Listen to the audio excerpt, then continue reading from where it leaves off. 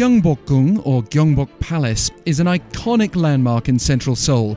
The compound looks stunning in all seasons, by day or lit up at night, but it also has a rich and often turbulent past since being built in 1395. It was the main Joseon dynasty palace until a fire destroyed it in the late 1500s.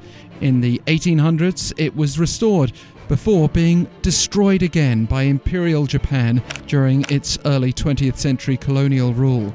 Much of the nation was then ravaged by the Korean War, so you can imagine the scale of the modern restoration effort, but we can now celebrate the 30th anniversary of excavation and restoration work at Gyeongbokgung.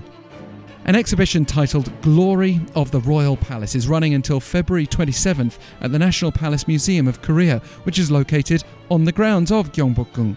We got a sneak peek ahead of this week's public opening, and you can see how the exhibition looks back on the history of the palace's revitalization.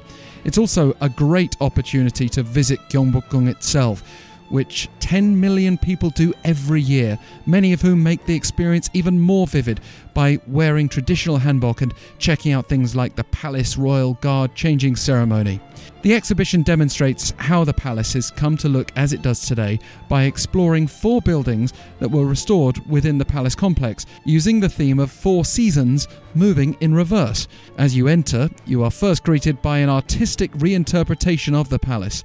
You then move through those seasons, the winter being a space designed as if looking through a window during the destruction under Japanese rule, the autumn revealing the efforts of the excavation team and the artifacts they found, the summer depicting drawings for the palace's restoration and its process until now by studying ancient maps and historical documents as well as the fruits of that excavation work.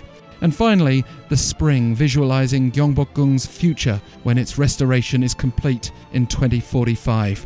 Even if you can't make it to Seoul for the exhibition, you will be able to discover more via the museum's website gogung.go.kr.